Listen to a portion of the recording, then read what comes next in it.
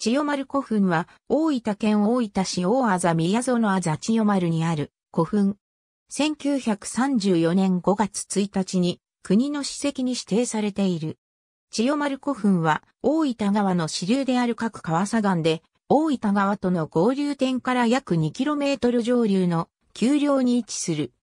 森土が流出しておりその詳細は不明であるが、直径約15メートル、高さ約4メートル程度の円墳であったと推測される。石室は沿道を備えた全長8.9メートルの横穴式石室で面取り成形した行海岸を組み上げて作られている。原室は奥行き3.32メートル、幅1.8メートル、高さ2.8メートル、沿道は長さ4メートル、幅1.9メートルで、その奥部には平石を2段に重ねた川根床が設けられている。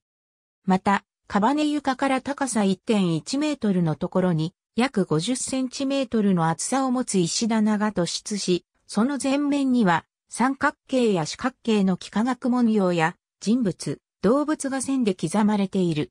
石棚を有する古墳は、九州では福岡県南部から熊本県北部にかけて分布している。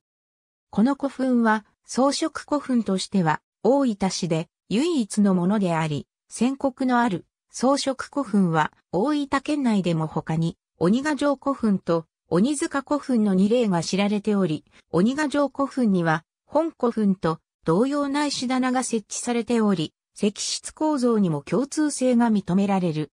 千代丸古墳の築造年代は石室の構造や宣告が施されていることなどから7世紀、初め頃と推定されている。ありがとうございます。